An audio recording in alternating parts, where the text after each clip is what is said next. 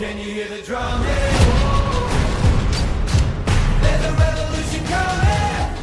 Hello buddies, welcome back and this is Hugo again.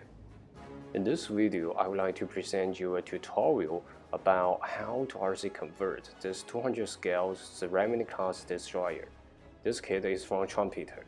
And to the best of my knowledge, the Trumpeter has three versions. Begins with the Sovremenny the first generation and comes with the second. Well, in China, we also has a simplified version named Hangzhou Destroyer. The only difference is Hangzhou doesn't consult with any photo etches, but all the three are sharing the same hull and most of plastic kit. Just briefly glance through the hull and you could feel its impressive size, especially for a modern destroyer. And we could see it has 78 centimeters in length and relatively large volume to carry on the electronics. Besides, fundamentally it has just dual propulsion shaft and two propellers, so it is very friendly to new beginners to set up their first RC ship. Here we have a close look on our RC kit. Let's get started from the shafting box and we have pre-installed the stainless steel shaft and we can see the brass handmade Y-support and comes with the propeller. What's more, here we have brass couplings and mounts and comes with a pair of powerful motors with aluminum heatsink.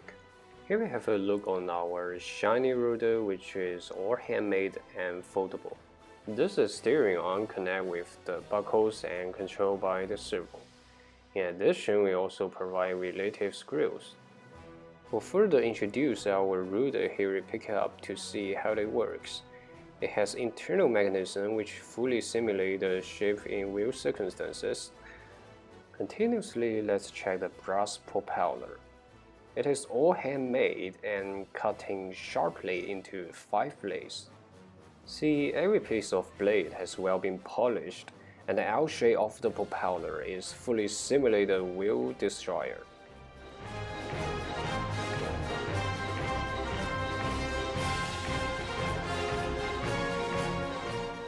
I have to commit Trumpeter originally injected cell in dual rudder setting. However, as I reference for on-site photo available on Russian internet, the single rudder plan may be the truth. That's why I should emphasize this issue as I would proceed the fellow modification work in what I convince. Anyway, I will discuss it later. Back on installing the shafting box, the Sovremenny is much easier comparing with previous tutorials. The major factor is it originally has a gearbox to let us calibrate the shafting box. Besides, it also has a battery box because it has been identified as an electric model if you have access to Hangzhou Destroyer in China. Removing the internal structure is my general approach as you may familiar with this procedure in my previous videos.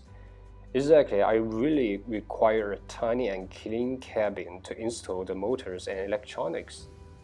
A personal tips, if you don't have a professional craft tool like that, I would highly recommend you just feel free to use the nail clips instead.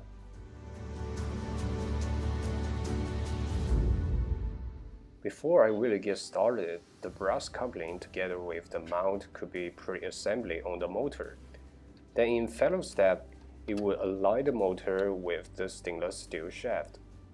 Correspondingly, such alignment is always be the most essential section to make sure the motor running smoothly in high speed.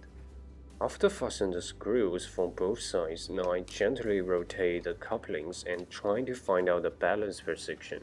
That position should be fulfilled the circumstances like the shafting rotates smoothly with motor while there is no vibration or deformation on each component. The same procedure could be made on the other side.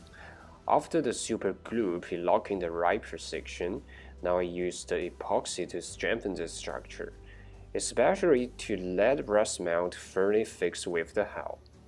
Kindly notice there is no reverse because once it gets solidification, it will be even stronger than the plastic.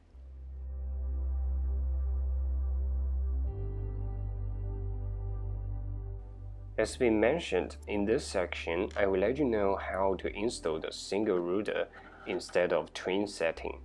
Even though I've heard rumors like the Russian handover to Chinese Navy might not be the same. Up to now, there is no evidence or photos like shooting from dry dock to support such comments. After file the slot to install the rudder, the next step should be filling the bilateral holes and the conjunction parts. Looking inside, the stuffing tube has well been strengthened by epoxy. At the same time, we can manually turning the rudder to make sure it operates smoothly. The putty I used is from Tamiya. The epoxy version is for restructuring purpose, while the basic type is for polishing.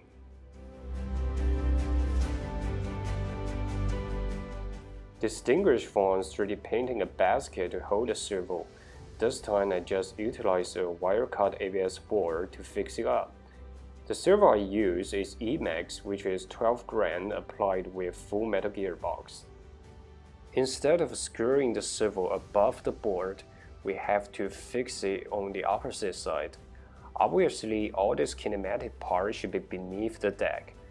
Otherwise, the on-off servo or steering buckle may have the chance to jack the deck up while operating. The steel rod or say pole rod is for transferring the torque from servo to rudder. On one hand, we keep it in dried assembly for further adjustment, while on the other end has well been welded. To begin with locking the fixed buckle with rudders on, exactly painstaking efforts and patience are required. Then we deal with the same procedure on servos on. Once every part is ready and hot, we will take a rehearsal to gently adjust the pro rod in final precision. As a final point, super glue is for the quick but temporary locking function. Just a few seconds later, here we double check the buckles to have sufficient redundant space to the upper deck.